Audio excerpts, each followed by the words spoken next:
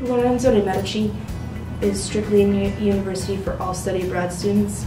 Courses are taught in English, which is really nice. As a designer, I'm introduced to the historical aspect of design and I was completely surrounded by it and learned new techniques and met designers that aren't from the US and aren't accustomed to the US materials for interior design. There's a lot of more traditional materials that the US might use opposed to this woman from India that I met. I had professors that worked for Gucci, for Prada, and all these other high designer names. I'm really into architecture and history, so I took a lot of tours and went just walked around towns and admired the different architectures by different monumental designers. I took 15 credits, but I only had classes Monday through Wednesday, and then had the four-day weekend to travel while going on the weekend or spring break or fall break, winter break. I only packed one hiking backpack for the full year.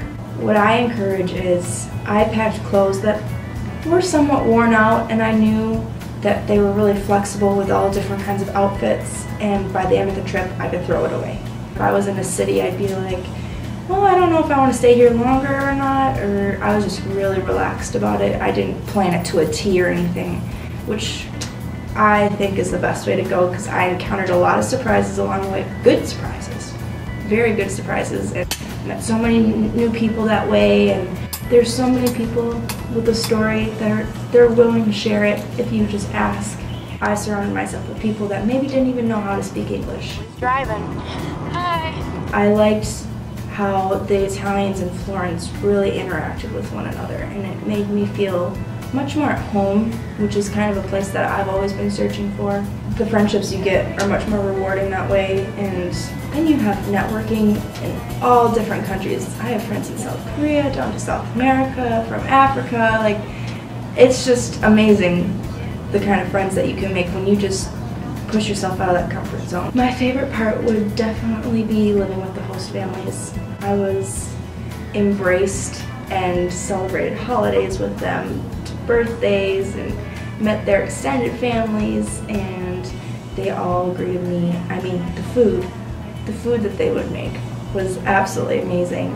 When you sit down at the dinner table, you look forward to the conversation. Even if you might not understand all of it, for the first month, I just sat there and nodded my head for a while.